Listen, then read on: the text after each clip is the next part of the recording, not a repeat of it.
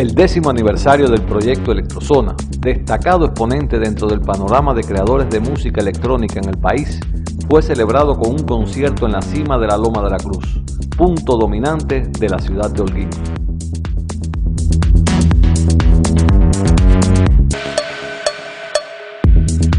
Electrozona surge a raíz que nos reunimos dos o tres amigos y decidimos promocionar lo que el trabajo del DJ como tal sin las producciones de, como, de la música como tal. Solamente promocionar un poco la, la música electrónica cuando aquello que no teníamos ningún conocimiento de nada.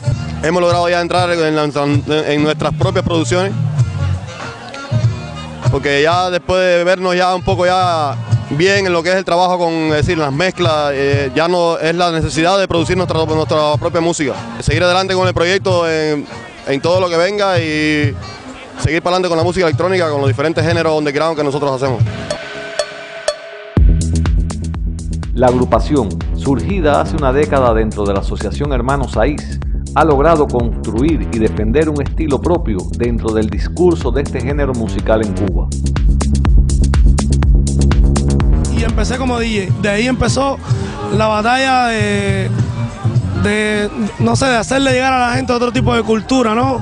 Otro tipo de, de arte diferente. Entonces el Electrozona siempre se ha reído por eso, por hacer una música electrónica un poco, no underground, pero un poco más, no sé, diferente, un poco más fuerte. Aparte de este, de este festival tenemos el Estereo E. Estereo E ya es el festival de, de ¿cómo decirte?, del corazón de Electrozona, ¿no? Es como la, es como la manera de latir de lo que hace Electrozona, es en Ibarra, en Caletones, son tres días en una playa. La electrónica, como género musical, tuvo en los soviéticos a los pioneros en desarrollarla tras el triunfo de la Revolución Rusa, que favoreció la experimentación artística al romper con la estética burguesa.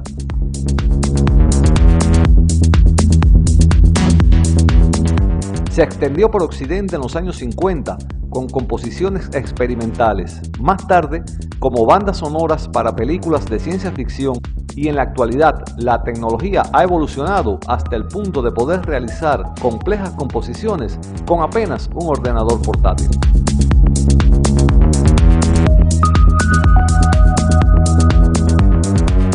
Desde Holguín, Juan Pablo Carreras, Agencia Cubana de Noticias.